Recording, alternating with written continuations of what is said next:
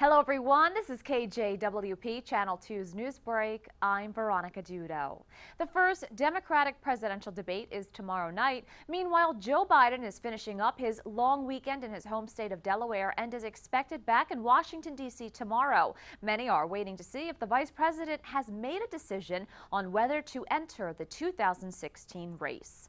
New Jersey Governor Chris Christie is in New Hampshire today. He joins other GOP hopefuls on the presidential campaign trail. He is scheduled to attend a conference with more than 1,000 voters in attendance. And according to a report, the Minnesota dentist that was at the center of controversy surrounding the killing of a famed lion will not be charged with any crime in Zimbabwe. For more on these stories, visit DelawareOnline.com.